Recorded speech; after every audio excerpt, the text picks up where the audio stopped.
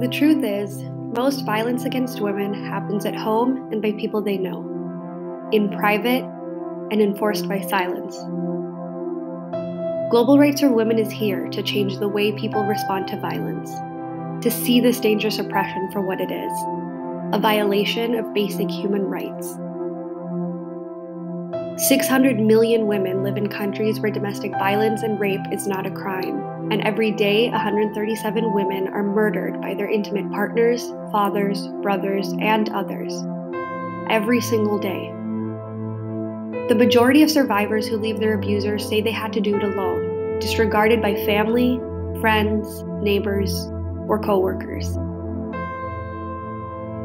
Now, COVID 19 has created even more barriers to reaching out and getting help. You have the power. Do something.